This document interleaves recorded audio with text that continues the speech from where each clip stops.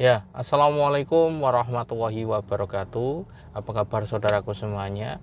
Alhamdulillahirrabbilalamin Saya senang sekali bisa menyapa saudaraku semuanya di mana pun berada ya.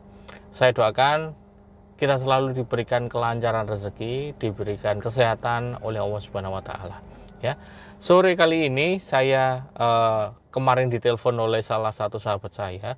Katanya dia baru menemukan batu mustika begitu makanya saya ingin datang ke sana ya sama uh, anak saya.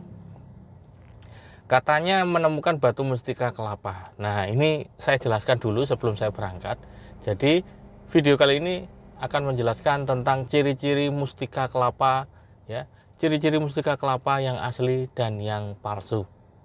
Oke, jadi silakan untuk simak ya sebelum saya jelaskan secara lengkap. Like dulu, share, kemudian subscribe, tekan tombol loncengnya dan nantikan video saya setiap harinya yang akan saya upload begitu. Ya.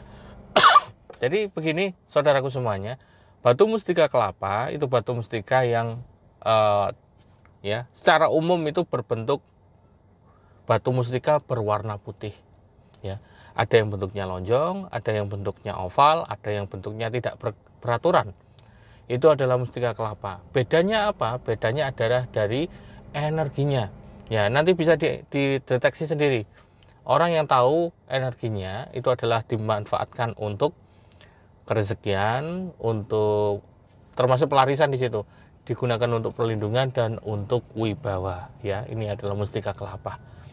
Kemudian saya jelaskan mustika yang palsu ataupun mustika kelapa yang palsu biasanya bentuknya itu sama seperti banyak mustika kelapa lainnya.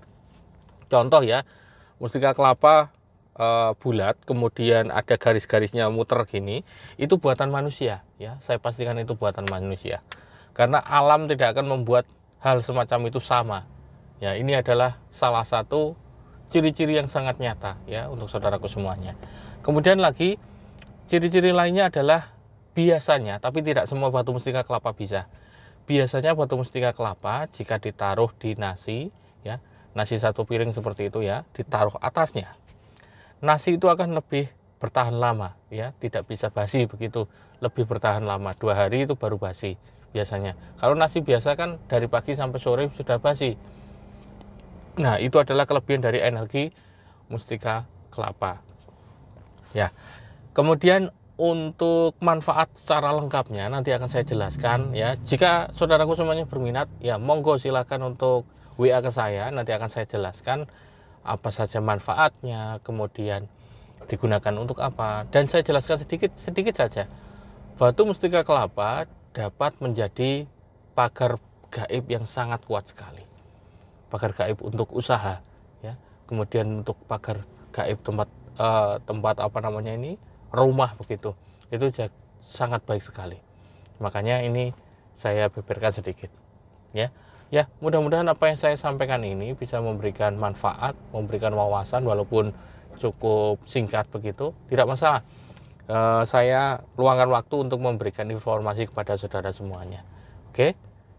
Sekian dari saya. Wassalamualaikum warahmatullahi wabarakatuh